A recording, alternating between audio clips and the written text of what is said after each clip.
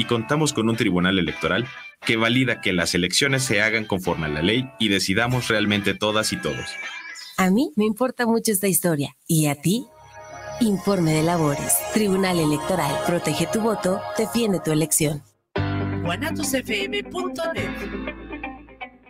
Los comentarios vertidos en este medio de comunicación son de exclusiva responsabilidad de quienes las emiten y no representan necesariamente el pensamiento ni la línea de guanatosfm.net.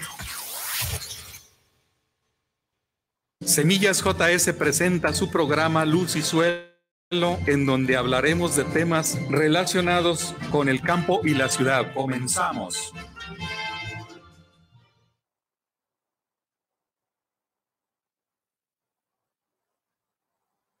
Muy buenas tardes, una vez más en este programa de los martes a las 5 de la tarde, lo cual se habla temas de interés relacionados con el campo.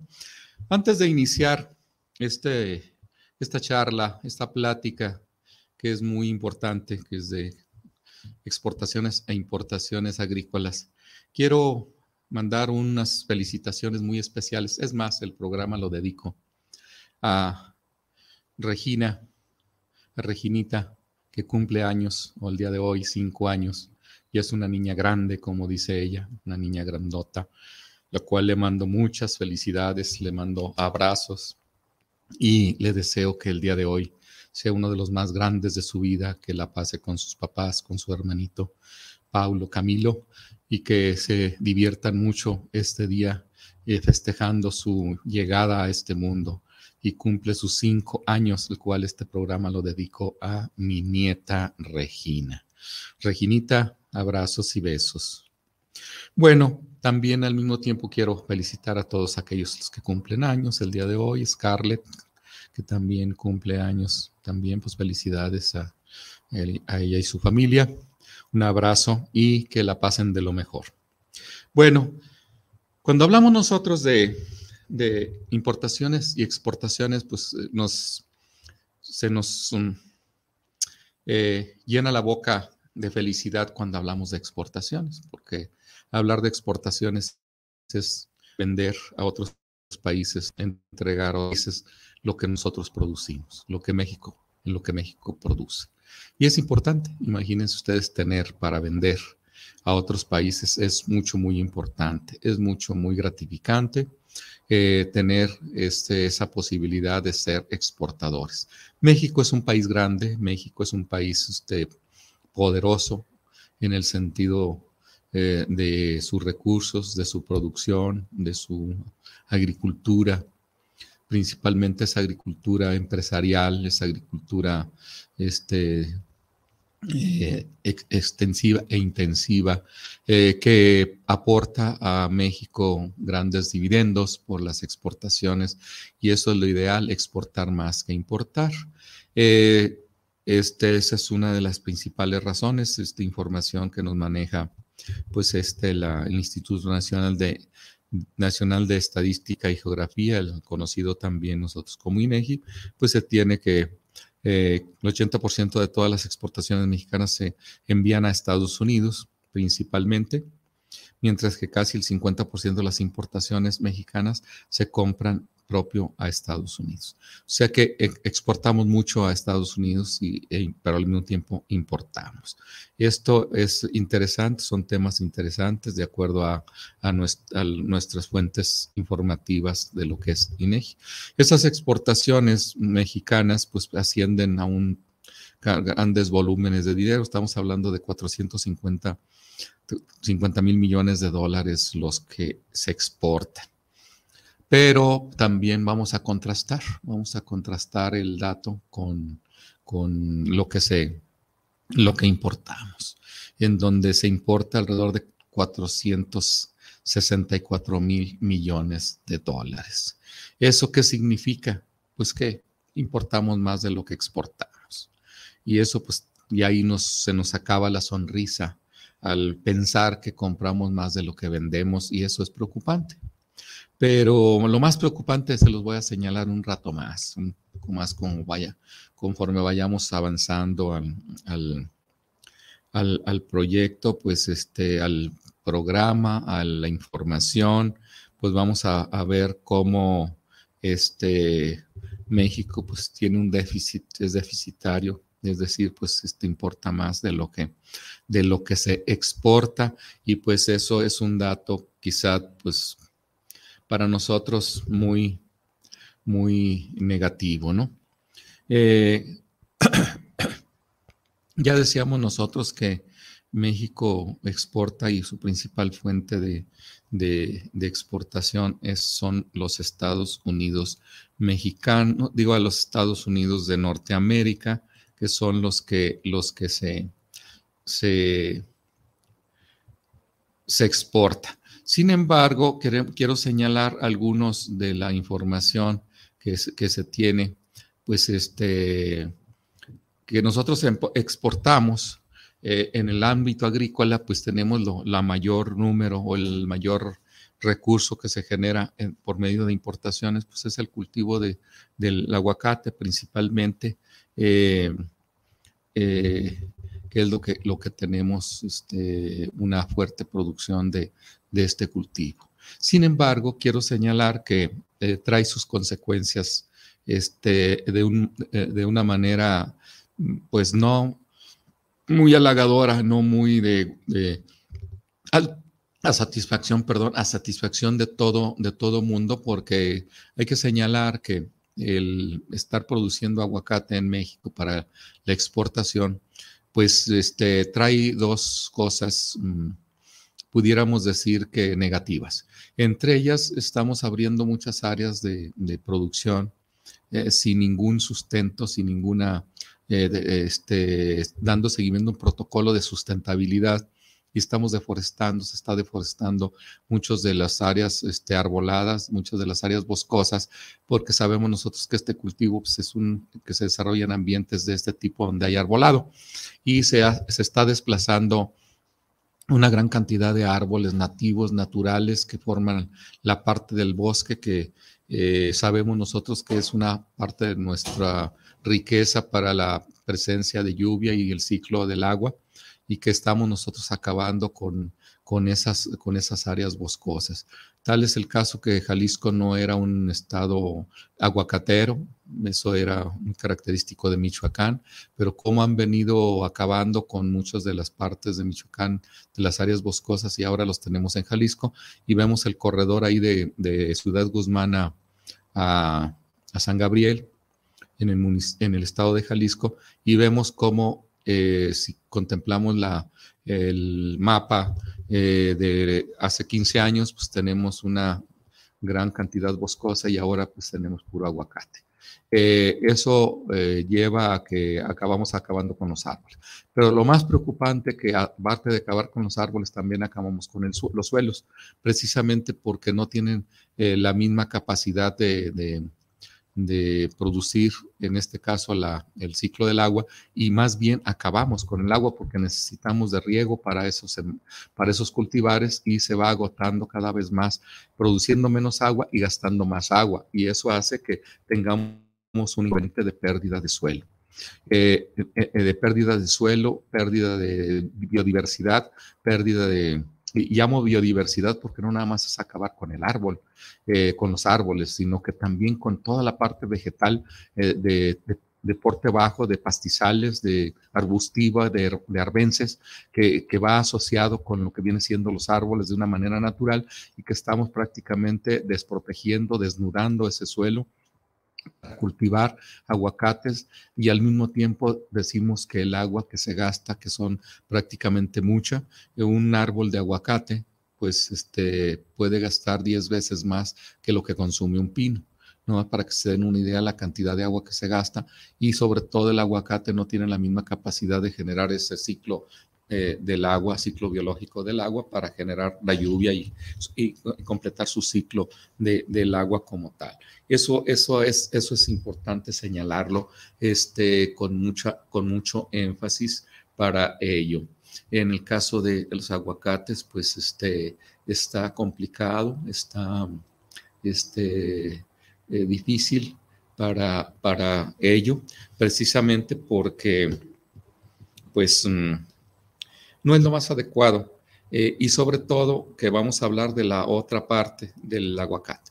Cuando nosotros hemos encontrado en nuestro mercado que digamos somos productores de aguacate, exportadores al, al mundo, eh, exportamos este, este fruto y pues traemos, trae como beneficio que esa gran producción, pues vienen los precios bajos en este producto para el mexicano. No, es al revés. Eh, como es de exportación y, se exporta demasiado y la producción muchas de las veces es insuficiente, pues prácticamente el precio del aguacate pues debe ser similar a lo que viene siendo la exportación para que valga la pena la comercialización en nuestro país. Y eso conlleva a que nunca podemos nosotros tener aguacates a buen precio o a precio justo o a precio más bajo. De tal forma que nos está perjudicando a la canasta básica, a nuestro, lo que viene siendo el consumo de per cápita de este producto, precisamente por el costo, el costo que se tiene. Y pues esos dos elementos de los altos costos, precisamente por ser un producto de exportación y todo el daño ecológico que se está haciendo. Si bien es cierto que existen protocolos y existen este, mecanismos para eh, cultivar el aguacate y, e, e ir abriendo espacios eh, que tengan, que cumplan las expectativas para la producción sin averiar o sin dañar a todas nuestras áreas arboladas, a toda nuestra área principal de, ciclo del agua, pues no estaría malo. El problema es que inmoderadamente están llevándose a cabo prácticas eh, en donde este, las instituciones encargadas de, de, la de la supervisión, de la regulación de lo que es la siembra del cultivo de aguacate, pues para mí en lo personal brilla por su ausencia y si está, está presente, pues no está haciendo las cosas bien. Obviamente este, esta crítica que hago pues es fuerte, es eh, muy quizá no adecuada, quizá este, pues tengamos, este, no, no seamos bien vistos por, estas, por estos comentarios, pero bueno, este, hay que eh, eh, ver que nos está causando daño de forma eh, directa en algunos espacios e indirectamente a otros. Por ejemplo, directamente son aquellos poblados que están cerca de esas zonas donde se cultiva y que están viéndose afectados por inundaciones, por arrastre de suelo, por este, sequías, por todo lo demás, por este, esta situación que se está dando. e indirectamente este, lo estamos viviendo los, el cambio climático y eso lo vive todo mundo. Entonces, este, indirectamente también nos causa un problema eh, el que suceda este tipo de cosas, este tipo de situaciones. Eh, sin embargo, pues este, vemos este, la gráfica de las exportaciones de este cultivo y pues así se ve como que si fuera algo muy atractivo, algo muy este, significativo y a veces nos llenamos la boca de alegría al decir somos el país exportador de aguacate, aguacate para el mundo.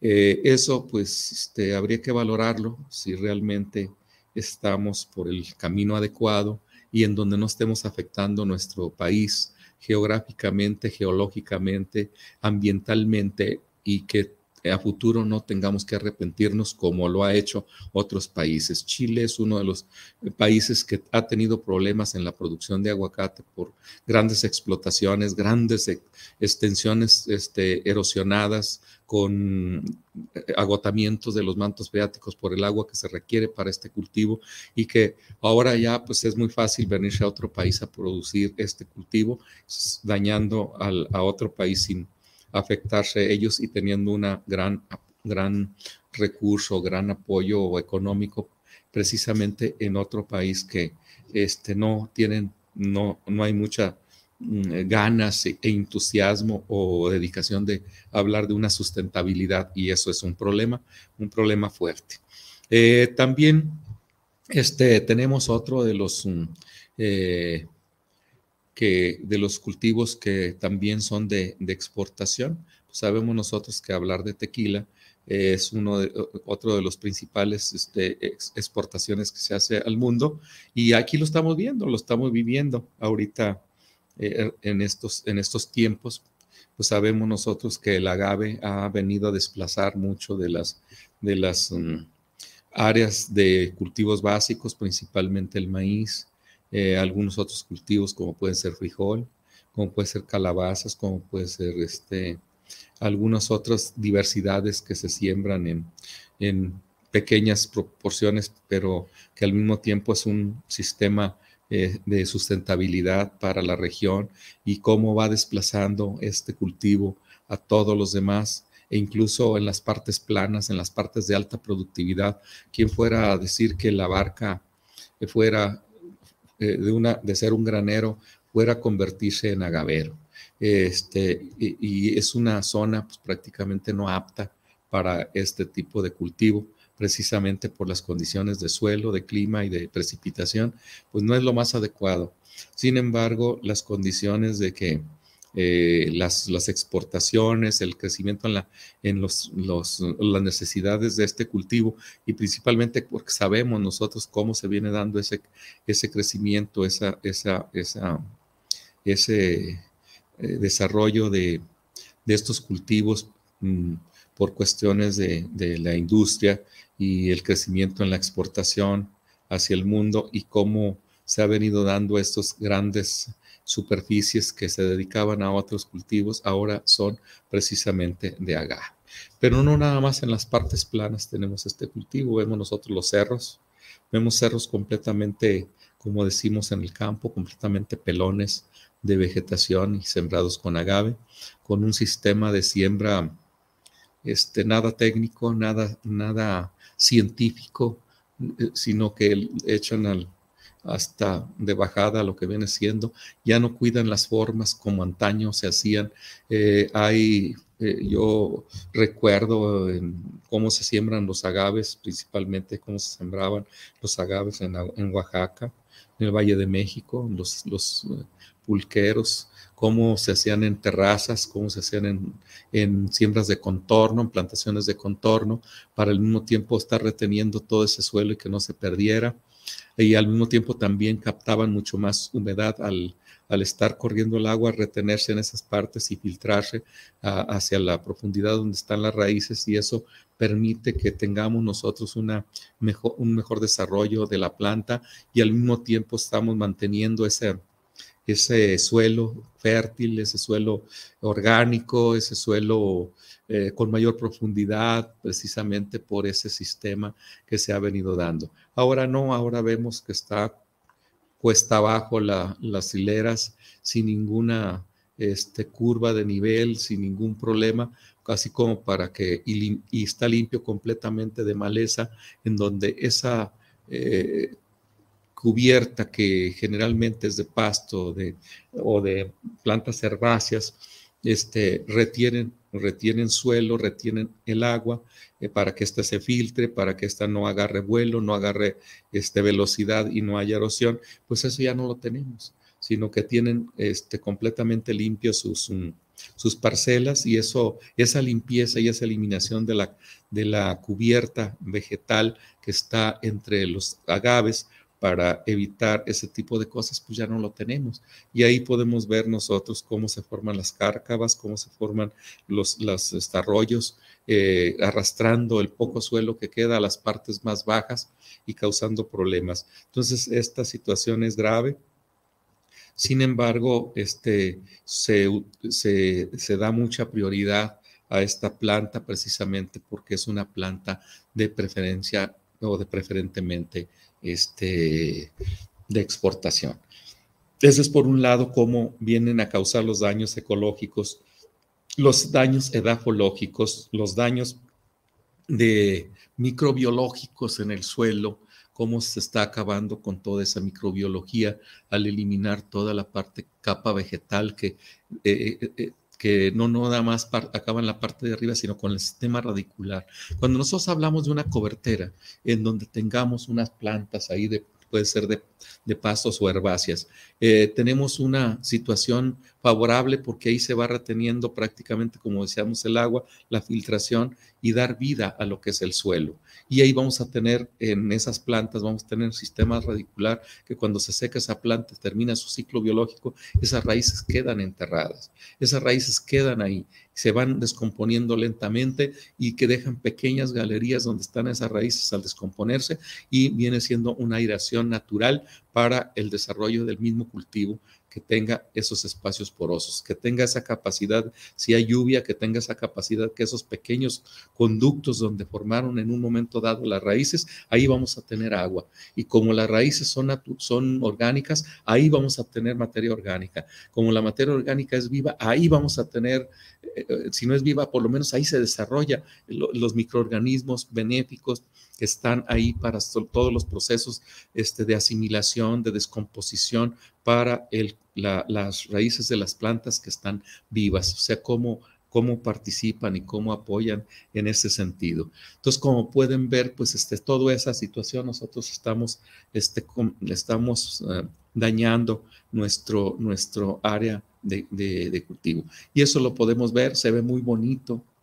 Estaba eh, este sábado me tocó hacer el recorrido aquí por todo lo que es la, el corredor del paisaje, paisaje agavero, este, un paisaje reconocido mundialmente, el paisaje agavero, patrimonio de, la humanidad o es algo así relacionado con, con, con el, el, aspecto, e, ese paisaje, ese panorama azul que se ve por, por la, variedad de agave tequilana y cómo cambia ese paisaje agavero. Se ve, se ve hermoso como, como planta, pero el sistema, los sistemas que están implementando no me gustan.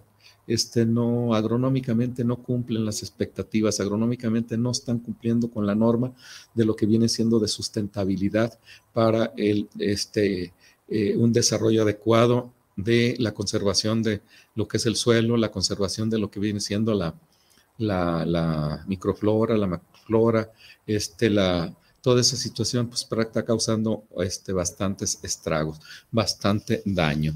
Eh, esa, esa, es, esa es una de las grandes cosas. Otra, otra razón, hasta ahorita yo no he tenido ninguna experiencia en mis años de vida, no soy tomador, pero tampoco soy ajeno a, que cuánto cuesta una botella de tequila, de un buen tequila, aunque el buen tequila es relativo, porque dicen cuál es el mejor tequila, el que te guste. El, tequila que te guste es el bueno, no importa el costo, no importa el cuánto es la, lo, que, lo que tiene el valor económico, sino más bien lo que es el sabor, el olor, el, eh, cómo te sientes tú a gusto con qué, material tomas. Y definitivamente en todo este tiempo yo jamás he visto que baje el tequila, el costo de tequila. Por ejemplo, por allá en los años 2000, que andaba el precio exageradamente muy alto eh, de los agaves, y pues obviamente uno pensaría que está tan caros porque está alto el, el producto de tequila, pues he llegado a costar hasta los 30 pesos del kilogramo de agave.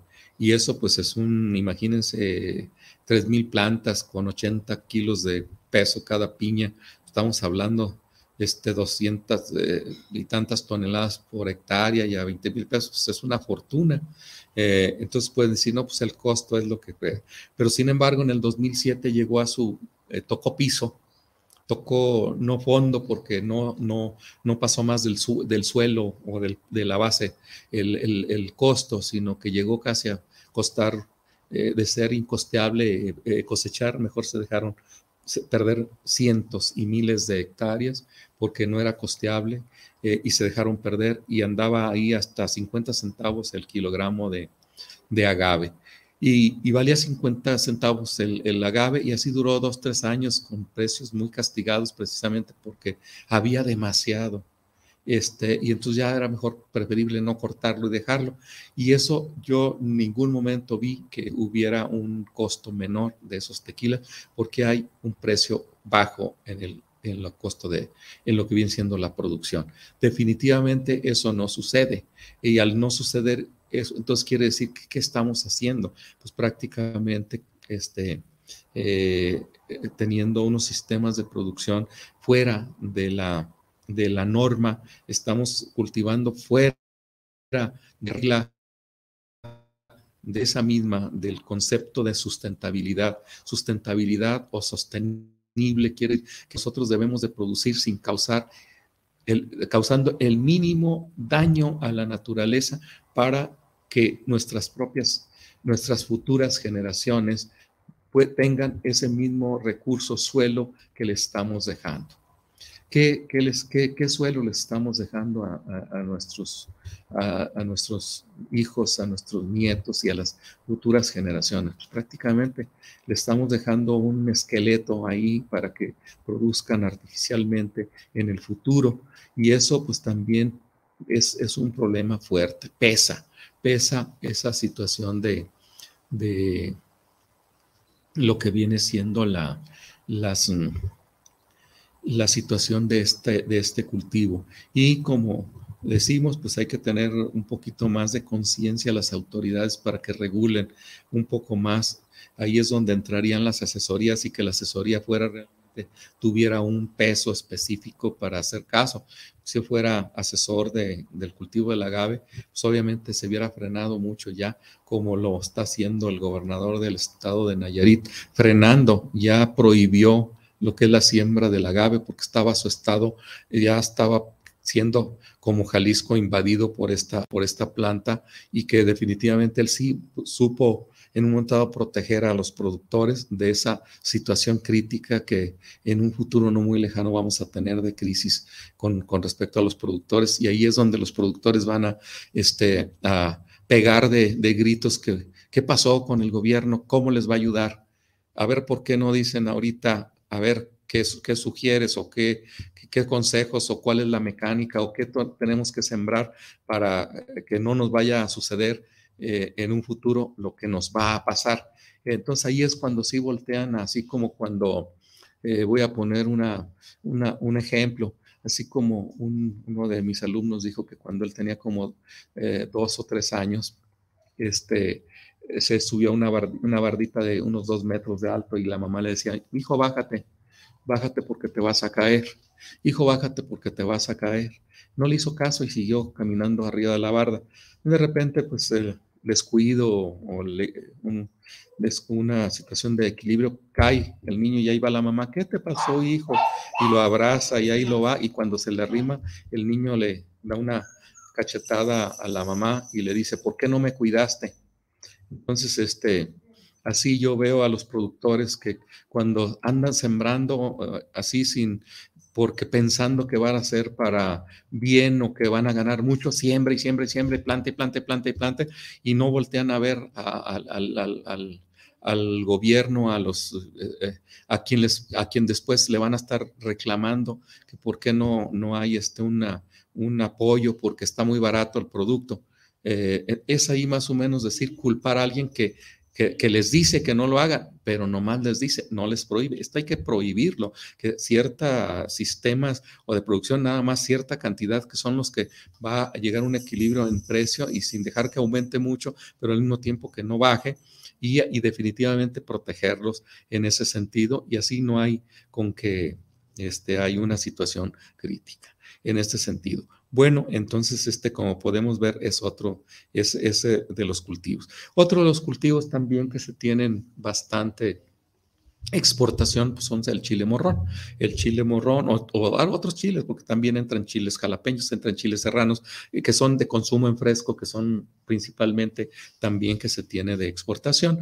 Este, aunque la mayor proporción es en chile, chile morrón o chile pimiento o pimiento que se le conoce comúnmente son chiles dulces. bueno, no es que sean realmente dulces, más bien no son picosos, no tienen picor y es otro de los que también se, se exporta. Y este, pues obviamente tiene que ser producido generalmente en invernaderos. Eh, es, la producción a campo abierto es más complicada, trae más problemas de enfermedades, trae más problemas de plaga, trae más problemas incluso hasta para la nutrición, eh, la fertilización y todo lo demás, de tal forma que es una planta que se pone en cultivos protegidos para tener una mayor este, producción y mayor toneladas en la menor superficie posible. Y es otro de los cultivos también que se, que se, que se exporta. Y como podemos ver, muchas de las ocasiones, pues el producto de, los, de estos chiles que se consume a nivel nacional, pues no es la misma, no es la misma calidad que, que, se, que se produce en, en otros, eh, que, se produce pues para lo que es exportación. O, lo que no pasa en exportación, pues es lo que se vende en el país. Pero al mismo tiempo, como es cultivo de exportación, pues es un cultivo caro. Es un cultivo que eh, no, tiene no tiene un precio bajo para el consumo nacional, precisamente por ser un, uno, un cultivo de, de porte eh, internacional, o vamos a llamarle así, de exportación. Y eso es una de las cosas que, se tiene que contemplar, que es una, esa es la razón por la que son precios altos. El jitomate es otra planta que también conocido también como jitomate o tomate, tomate rojo. Es otro de las plantas que antaño era lo que iniciamos a exportar y principalmente Sinaloa era un el estado número uno en exportación. Yo hablo ya en los años 80, pues era Jalisco, teníamos nuestro Autlán de Navarro, que se sembraba mucho jitomate. Eh, en Sinaloa, pues se tenía en el estado algunas zonas este, productoras para exportación. Eh, sin embargo, se entran en los años ya 90 fuertemente en la producción de cultivos protegidos y es ahí donde se cambia la, la, producción de, campo hacia los invernaderos, principalmente porque en los invernaderos tú puedes poner sustrato nuevo y ahí estás eliminando toda la posibilidad de las enfermedades. Yo recuerdo que en los años 80, cuando se sembraba jitomate allá en, en Autlán de Navarro, pues los primeros años eran muy productivos y sacaba muy buena producción, muy, muy buena sanidad del producto. Sin embargo, a través del tiempo se fue, eh, se fue cultivando ese cultivo, esta planta de una manera consecutiva y llevando consigo una serie de problemas eh, fitosanitarios y de plaga principalmente que hacían que ya no fuera redituable precisamente porque este, la presencia de enfermedades por lo que se tuvo que abandonar esa zona. Eh, sembrando esta, esta planta. Pero este, eh, la razón principal es que era exportación. Eh, aquí en el estado de, de, Nayarit también se producía, yo recuerdo por allá en los años noventa y tantos, 97, 98, 1998, sembraban ahí en la zona del, del, municipio de Santiago, Inspintlán, Nayarit, este, 200 o 300 hectáreas que eran justamente para exportación. Y recuerdo bien de una, un detalle que yo llevé alumnos a ver este, este sistema de, cultivos ahí en, en cielo abierto, el jitomate. Y recuerdo bien que estaba, ya no se pudo vender eso por el precio bajo, tanto de exportación que pararon el proceso, o como en la en el caso de eh, la venta nacional también que bajó mucho por la producción. Y recuerdo que nos regaló incluso ahí, nos dijo, le regalo la huerta, eran 50 hectáreas, pero ¿para qué la queríamos? ¿A quién se la vendíamos? Pero sí cortamos frutos para traer para consumo y ahí es donde vimos que había unos jitomates con unas eh, gotitas eh, ya deshidratado, ya seco, de color verde, un polvito verde y ya uno de los alumnos le preguntaba al, al productor, oiga, ¿qué es esto? Ah, es un producto que le echamos, es un, fungicidas e insecticidas que le echamos ahí a la, a la, al cultivo. Dijo, oiga, pero estos que no están prohibidos. Dijo, sí, dijo, están prohibidos para lo que se exporta. Dijo, pero para el consumo nacional no hay problema, se los aplicamos.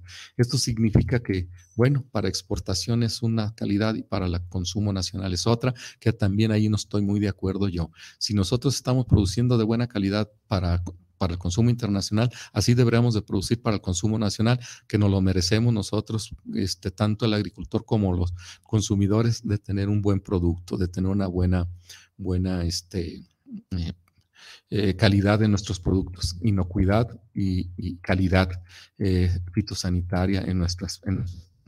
bueno, este, vamos a hacer un corte y en un momento más regresamos para continuar con las importaciones y exportaciones.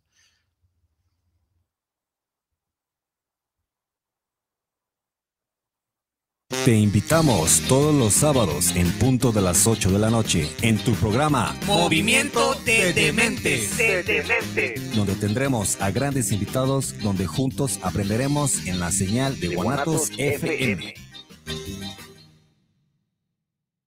Casa Aramara, un lugar mágico en el tradicional Tianguis Cultural en Guadalajara, frente al Parque Agua Azul. Visítanos y encontrarás cuarzos, armonizaciones, esencias curativas, lectura de cartas y mucho más. Te esperamos todos los sábados de 10 de la mañana a 4 de la tarde. Casa Aramara, donde te recibimos con los brazos abiertos.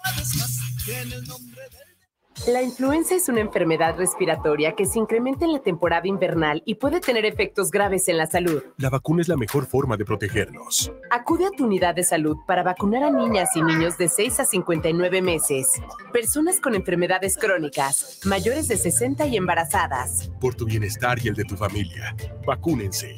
Secretaría de Salud. Gobierno de México. Este programa es público, ajeno a cualquier partido político. Queda prohibido su uso para fines distintos a los establecidos en el programa. En la Cámara de Diputados aprobamos el presupuesto de egresos de la Federación para el ejercicio fiscal 2023 con recursos por 8 billones 299 mil millones de pesos. Las y los diputados cumplimos con el compromiso constitucional de asignar los recursos necesarios para la operación del país. Conforme a nuestra facultad exclusiva y dentro del plazo de ley. Porque México eres tú. Legislamos para todas y todos. Cámara de Diputados, Legislatura de la Paridad, la Inclusión y la Diversidad. Te invitamos a escuchar todos los martes a las 11 de la mañana Terapiarte con el coach y psicoterapeuta Omar Cabrera y la terapeuta holística Olga Corona por la señal de guanatosfm.net y a través de Facebook por Guanatos FM Network. Oye, ¿no sabes cuánto cueste más o menos una banda de tiempo para mi platina? La verdad no, pero sí conozco un lugar donde las refacciones y accesorios Nissan originales y extranjeras tienen los mejores precios y además, si no lo tienen, te lo consiguen. Ah, ¿dónde? Pues en Autopartes Nissan El Catiche. Uh, pues entonces vámonos, ¿qué esperas? Primero hay que llamarle al 3672-3341 o al 1202-4401 y si tiene tu banda, pues vamos por ella a Carretera Saltillo 325-C en la Colonia Auditorio.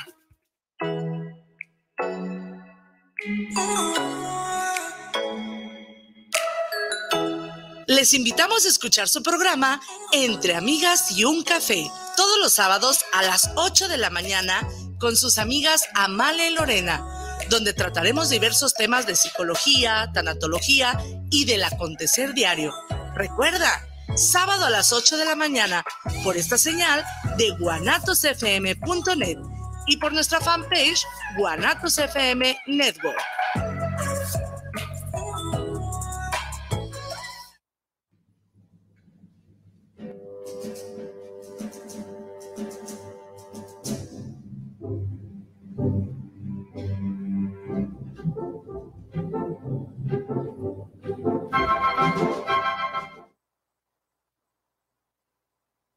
Bueno, este, continuamos. Aquí tenemos unos mensajes que nos han llegado. Dice saludos al ingeniero José Sánchez desde Taloa, Jalico, de parte de Antonio Covarrubias. Saludos. Dice ingeniero Rodolfo Mora, saludos para el programa desde Tecomán, Colima, México, en que se ha distinguido en exportar. Álvaro García, saludos para el programa desde Ciudad de México. Saludos por este excelente programa. Un gran saludo. Javier Mancera, saludos al programa desde Tehuacán, Puebla, para Semillas JS. Mario Enrique Trujillo, saludos para el programa del ingeniero Sánchez. Saludos por llevar este tema de importaciones y exportaciones. César Alberto Gutiérrez, saludos para el programa. Saludos para Semillas JS, saludos para el programa y el ingeniero Sánchez. Muchas gracias, César Alberto. Eh, Nidia Gutiérrez, saludos para el programa de Semillas JS, saludos al ingeniero José por llevarnos, llevarnos cada tarde este programa al campo. Bueno, pues está eh, un saludo para todos ustedes y aquí nos dice ingeniero Rodolfo Mora, saludo. Para, dice, nos dice que eh, México que se ha distinguido en exportar. Pues bueno, miren, si nosotros hablamos por, por tiempos, por, por, mm, por épocas, pues estamos hablando que México era el, lo, primero que fue exportador en el área agrícola, pues fue jitomate. Fueron los jitomates los que entraron por allá en los años 80, en los años 80 o, o, desde antes empezaron, se empezó a exportar lo que viene siendo los jitomates. Sin embargo, con la denominación de origen del tequila, pues fue el tequila el que se, se caracteriza por, por exportar. Este, el tequila subió bastante fuerte. Y, posteriormente vino el aguacate, que el aguacate que ahorita ya desplazó, desplazó por, por cantidad de, ingreso en dólares eh, al tequila eh, por su exportación. Entonces estamos hablando de, de, épocas. Y si estamos hablando ya más recientemente, pues entraron otros que son los berries pero siguen siendo poco comparado con el aguacate y el tequila. Eh, pudiéramos hablar que eh, esa es más o menos la, dinámica que se ha venido dando. Si hablamos actualmente, pues lo más importante ahorita es el aguacate, eh, luego le sigue el tequila, luego estamos hablando de lo que viene siendo los, mm, los jitomates, los chiles morrones, los pepinos incluso, y podemos hablar también de la cerveza este, somos exportadores de cerveza eh, también. Y la cerveza, pues obviamente hay un cultivo que eh, interviene en esto, que es la cebada.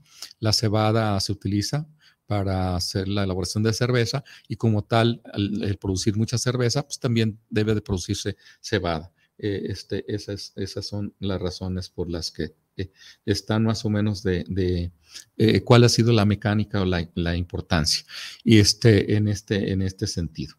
Eh, de, exportación. Eh, es más o menos el orden. Ah, ahora bien, dice,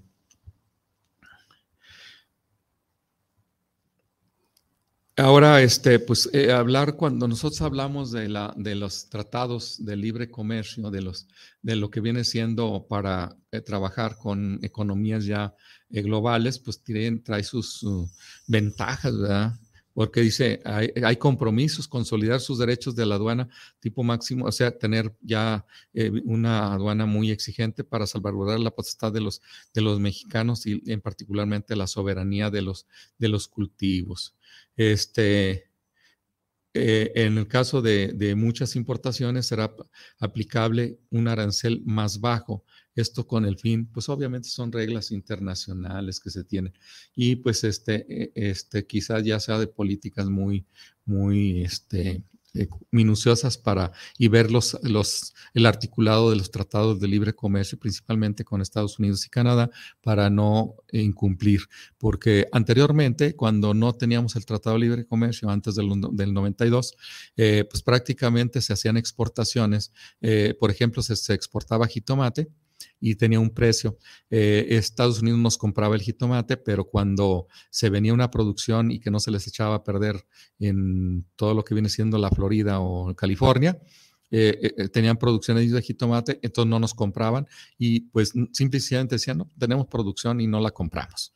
Este, y ahí nos dejaban prácticamente con nuestra producción. Ya con el Tratado de Libre Comercio, decir, no, bueno, ya hay un Tratado de Libre Comercio en donde hay eh, artículos, en donde hay reglas, de decir, pues tú me vas a comprar jitomate y me lo vas a comprar, que también se manejan cuestiones de tipo, de otro tipo también, pues sabemos que si hay una sobreproducción de, o que no se les echó a perder su jitomate allá, este, eh, eh, eh, lo compran a Caro México y si no, pueden restringir también ciertas cosas, haciendo que pues prácticamente no cumplen la norma de inocuidad y que fue producto que no es el adecuado, en fin, sacan mil y una situación. Y ellos sí pueden hacerlo mientras que nosotros no podemos aplicar ninguna de, ese tipo de cosas porque ya nos, así nos anda yendo. Esa es una de las situaciones que eh, tenemos en desventaja cuando, que si no sabemos nosotros como mexicanos defender lo que tenemos que defender, si nosotros defendemos lo que tenemos que hacer de acuerdo a los tratados, pues podemos, podemos que, se cumplan esa, esas reglas que están en el juego, tanto de aquí para allá como de allá para acá, y no nada más a la inversa. Entonces, ese sentido, este, es importante tener en cuenta. Ahora, este, ¿qué tenemos nosotros ahora ya en la actualidad? Eh, en la actualidad, este, ya lo más de boga es eh, justamente los berries. Y pues Jalisco es un es pionero en este, en este ámbito. Si no, pues los invito a conocer el estado de Jalisco y vemos todo lo que es la Ribera de Chapala allá por Jocotepec, lo que viene siendo San Luis Oyatlán, San este, Tizapán el Alto, este, Cojumatlán, ya, aunque Cojumatlán pues ya es Michoacán, pero toda esa región cómo está llena de plástico. Es una, eh, hay dos lagunas, está la laguna de Chapala y está la laguna de plásticos. O sea, una laguna en, el, pozo, en la parte baja, y la laguna en el cerro, ¿no? los dos tan, tanto un espejo refleja como el otro y eso pues es una situación de, todo lo que se viene dando a cultivos protegidos para sembrarse los famosos berries.